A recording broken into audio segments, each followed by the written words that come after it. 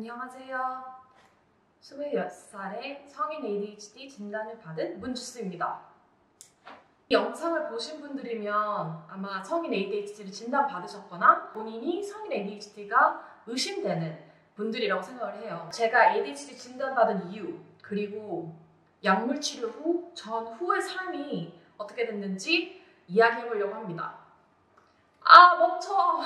사실 저는 제가 ADHD가 있다는 걸 전혀 의심을 못했어요. 아주 어렸을 때부터 계속 이렇게 살아왔고 저한테는 이게 정상인 줄 알았고 그때 근데 그런 얘기를 많이 들었어요. 되게 유별나다, 정신없다 라는 말을 되게 많이 들었고 제가 진단을 받은 이유는 전 남편, 전 남친 이 권유를 해서 치료를 받게 됐는데요. 남편이 검진을 추진한 이유는 제가 한 가지에 집중을 잘 못하고 주변 정리가 안 되고 그리고 대화를 하는 도중에 아, 몇 분도 집중을 못하는 모습 몇 분도 아니죠 거의 이제 뭐 초단위로 집중을 못하고 제 대화 주제를 바꾸는 모습을 보고 본인이 좀 스스로 조사를 해서 아 ADHD 같다라고 해서 저한테 ADHD 치료를 좀 받아보지 않을래? 진단을 좀 받아보지 않을래? 라고 먼저 했어요 네 사실 제가 진단을 안 받고 이대로 살겠다라고 하면 저랑 헤어지려고 했대요 그러니까 그만큼 어, 주변 사람들이 좀 힘들어요.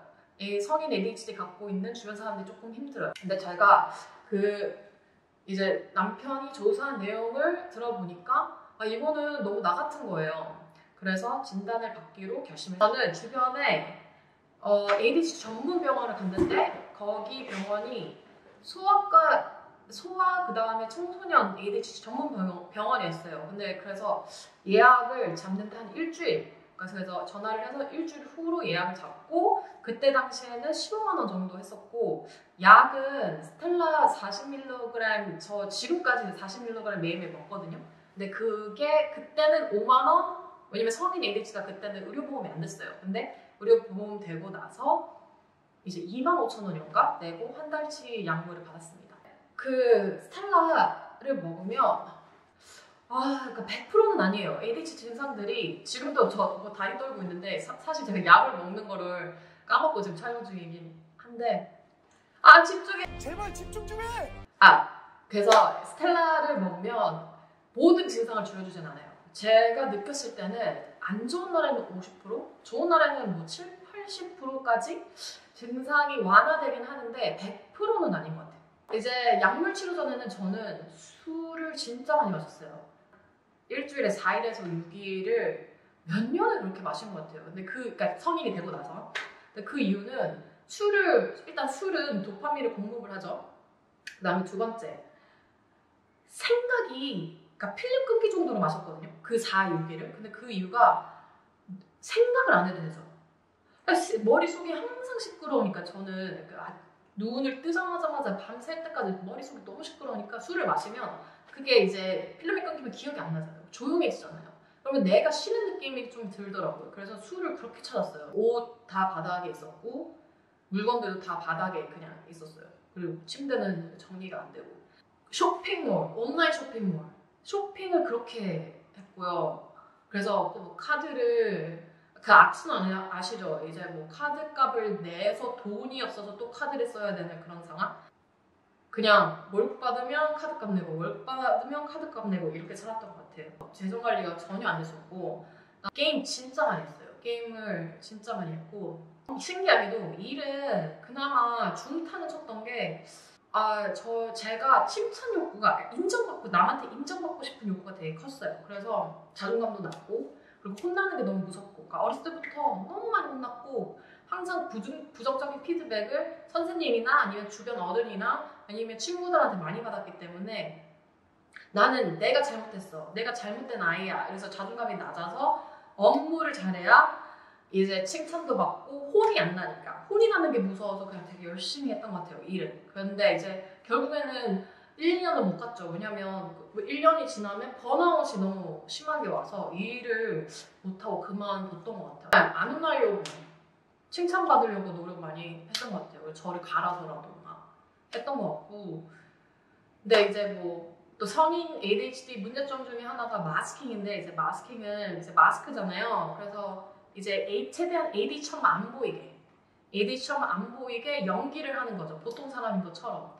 근데 이제 그게 마음대로 됩니까? 저는 뭐 충돌성도 같이 갖고 있어서 뭐 친구와 얘기를 하면 대화를 하면 집중을 못해요. 무슨 얘기 하는지도 모르고 그냥 응, 그냥 이렇게만 고개만 끄덕끄덕거리지. 그 다음에 저는 사실 눈을 마주치는 게 되게 힘든데 눈을 계속 마주치려고 계속 노력을 하고 근데 이제 말 끊는 거 진짜 안 하려고 하는데 아 말을 계속 끊게 되더라고요. 근데 그게 ADHD를 갖고 있는 사람들이 뇌 회전이 좀 빠르기 때문에 이제 누군가가 내가 화요일 날 이러면 어 그래서 화요일 날 너 우리 집에 온다고? 막 이렇게 해서 벌써 이제 결론을 딱 내려버리는 거예요. 아니면 그 사람이 한 몇 마디를 했는데 바로 그냥 생각하는 게 이제 원래는 아 다 끝나고 얘기해야지 이게 아니라 그러니까 충동적으로 바로 그러니까 생, 생각을 안 하고 바로 그냥 내에서 입으로 표출이 딱 되는 그러면서 그 사람의 말을 본의 아니게 끊게 되는 그래서 좀 많이 미안했습니다. 미안해 미안해 아 나 미안해 라는 말을 진짜 달고 살았던 것 같아요. 전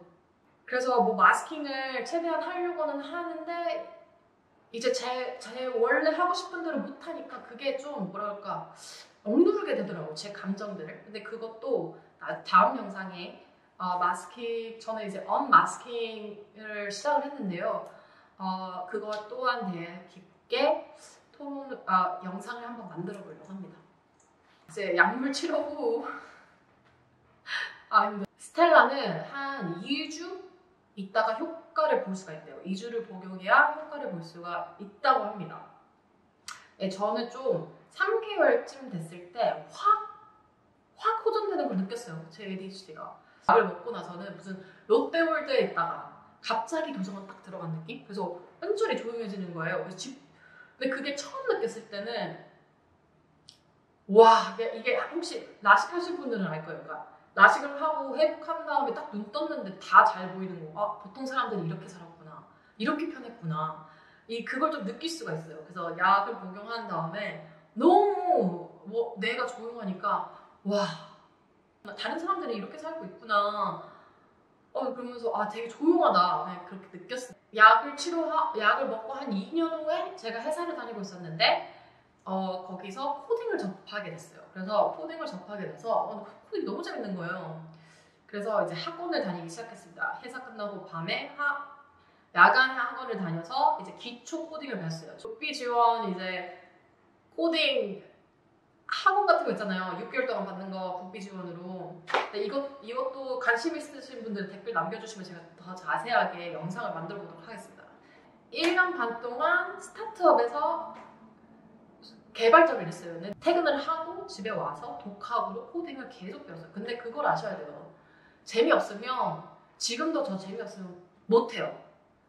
ADHD를 갖고 있는 사람들은 막 진짜 멱살 잡고 해야지 아니면 정말 생리를 위해서 하거나 그런 거 아니면 웬만해서는 혼자 독학을 한다? 막 이런 거는 좀 어렵거든요. 근데 코딩은 너무 게임 같고 재밌어가지고 코딩은 이제 거기 이제 스타트업 다니고 그 다음에 집에서 독학으로 계속 계속 배웠어요. 유튜브 보면서 영, 영상 보면서 남편이 와 너 미친 사람 같다고 그만해 할 정도로 진짜 열심히 코딩을 했습니다. 현재는 캐나다로 이민을 와서 지금 영주권까지 받은 상태고 지금 개, frontend 개발자로 일하고 있습니다. 그리고 진짜 신기한 거 약을 먹고 나서 책, 책에, 책을 읽을 수가 있어요. 책을 책을 앉아서 읽을 수가 있어요. 그거 저는 진짜 그게 너무 신기한 거예요. 삶이 조금 안전화가 됐죠. 근데 다만 불안이 불안증이랑 우울, 우울감이 더 높아졌어요. 근데 그게 이유가 있는데 ADHD가 호전이 되면 불안 불안이 올라와요. 그러니까 그래서 고민입니다. 근데 이것도 더 디테일하게 다, 다른 영상으로 어, 설명을 더 해보려고 해요. 제가 하고 싶은 얘기는 이제 ADHD는 모든 사람들이 다 다양하게 나타날 수가 있잖아요. 저는 이제 지금 강박, 불안, ADHD, 그 다음에 자폐를 의심하고 있습니다. 그래서 이 네 가지를 가, 갖고 있고요. 근데 다른 사람, 다른 분들은 ADHD, 뭐 책장애, 강박, 불안 뭐 이렇게 섞여서 가질 수도 있고요. 그러니까 모든 사람들이 저와 같을 수는 없어요. 다 다르게 증상들이 나타나기 때문에 저는 근데 뭐 부주의, 가임행동, 충돌성 이 세 가지를 다 갖고 있어가지고 티가 너무 났어요. 티가 났는데 아무도 안 알렸어. 특히 여성분들은 진짜 진단 받기가 힘들대요. 왜냐면 겨- 겉으로 표시가 안 나죠. 그러니까 가만히 있어. 근데 뇌는 막 생각이 막 돌아. 근데 가만히 있으니까 집중을 하고 있는 것처럼 보이는 거예요. 그러니까 진짜 진단 받기가 힘드시대요. 몇 분들, 그러니까 여성분들은 특히 아는 게 나아요. 그러니까 만약에 ADHD가 의심돼서 병원에 갔는데 없다고 하는 게 나아요. 저는 그러니까, 그러니까 안- 알고 자기를 더 편안하게 하는 게 좋거든요. 그리고 만약에 ADHD가 의심이 됐다면 뭔가 본인한테 이상이 있다고 생각이 든 건데 그러면 당연히 의사분이랑 이제 자기랑 맞는 이제 병을 찾아서 치료를 받는 게 너무 중요하다고 생각을 해요. 왜냐면 아 정말 편하거든요. 아 내가 왜 옛날에 치료 못 받았나 이렇게 생각을 합니다. 진짜 편해요. 그래서 꼭 치료를 받았으면 좋겠어요. 어떤 병이든. 네, 마무리는 제가 하고 싶었던 이야기는 ADHD가 의심이 되신다면 꼭 진단과 치료를 받으시고 본인이 이상한 게 아니라 진단을 통해 힐링을 좀 하셔야 돼요. 그러니까 그러니까 ADHD를 갖고 성인이 되신 분들은 트라우마도 많거든요. 근데 전 전문가는 압니다. 까먹지 마세요. 찾아보세요. 구글은 무료입니다. 네이버도 무료예요. 내가 문제가 아니라는 거를 꼭 아셨으면 좋겠어요. 내가 문제가 아닌, 아닌 거예요. 내가 이상하고 내가 게을르고 내가 의지가 없었던 게 아니다. 그리고 내가 나는 다른 거지 나는 틀린 게 아니라 라는 얘기를 하고 싶어요. 저는 지금도 그렇게 생각을 합니다. 나는 다른 거야.